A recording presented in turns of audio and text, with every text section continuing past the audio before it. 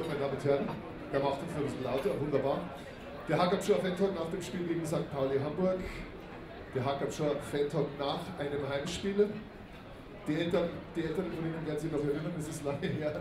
Es war im September, am 26. damals gegen Kräuter Fürth. Freue mich, dass unser Torschütze mit der 17 Janik Bandowski mit aufgekommen ist. Servus zusammen.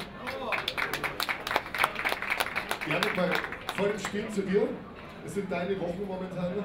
Letztes Auswärtsspiel Tor gemacht und heute, wir schreiben es dir zu, auch wieder eine Bude für die Löwen. Dann kann man zufrieden sein. Ich kann mich nicht beschweren. ähm, Ich bin relativ neu, wurde von der Truppe natürlich sehr gut aufgenommen und äh, ja, ich versuche das ganz gut zu zahlen und äh, einfach Gas zu geben. Jetzt haben die Löwen unter der Woche den Trainer gewechselt. Wie ist das für dich als Spieler gewesen?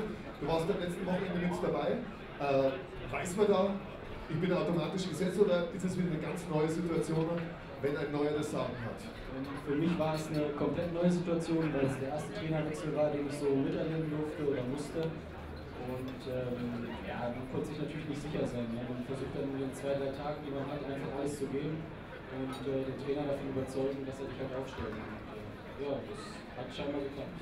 Thorsten Fröhlich hat alles richtig gemacht. Du hast das gleich mit dem 1 zu 0 bestätigt.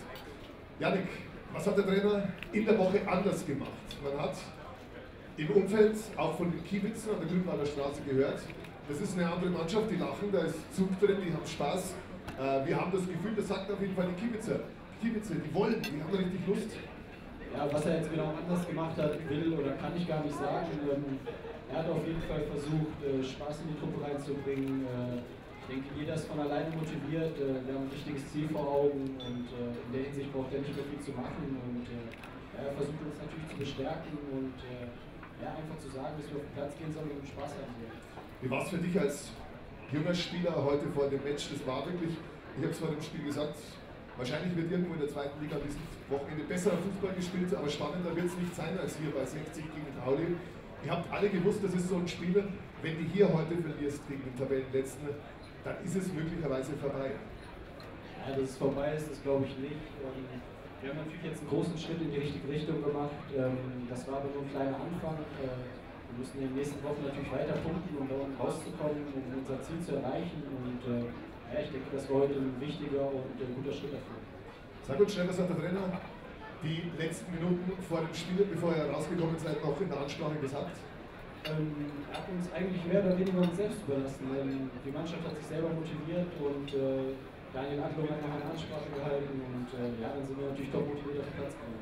Wie war es in der Pause? Ja, in der Pause haben wir uns erstmal äh, besonnen und äh, sind erstmal runtergekommen und äh, ja, da hat er ganz sachlich die, die Sachen angesprochen, die wir einfach verbessern wollen und äh, wie wir in die zweite Halbzeit dann rausgehen wollen.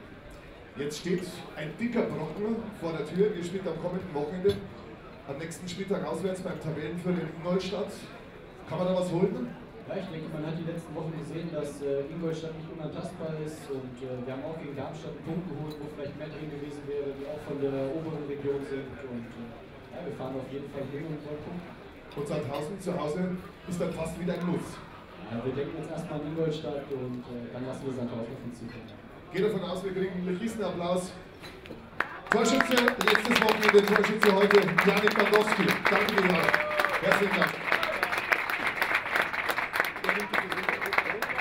So, und ich schaue für Sie auf den Löwentipp. Ich bin sicher, ja, da haben wir heute deutlich mehr richtige Antworten als die letzten Wochen.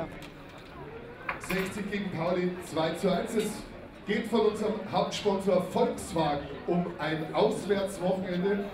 Sie fahren mit dem Leibwagen, der ist gestellt, der ist gesponsert, nach Fürth, nach Nürnberg zum Auswärtsspiel bei Kräuter Fürth in den Rohnhof. Wie gesagt, von Volkswagen gibt es das Auto.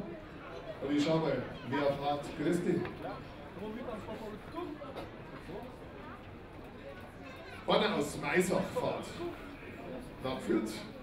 Wenn er noch da ist, kann er sich seinen Preis gleich abholen. Ansonsten kommt er per Post. Wir gratulieren, er hat das Ergebnis 2 zu 1 richtig.